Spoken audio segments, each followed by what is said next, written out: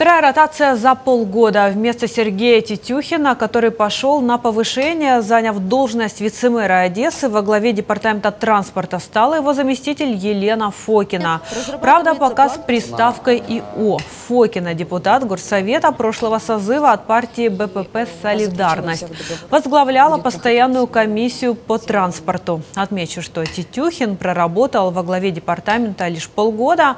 В конце января он сменил ушедшего с должности должности Александра Илько, который, в свою очередь, руководил городским транспортом более пяти лет.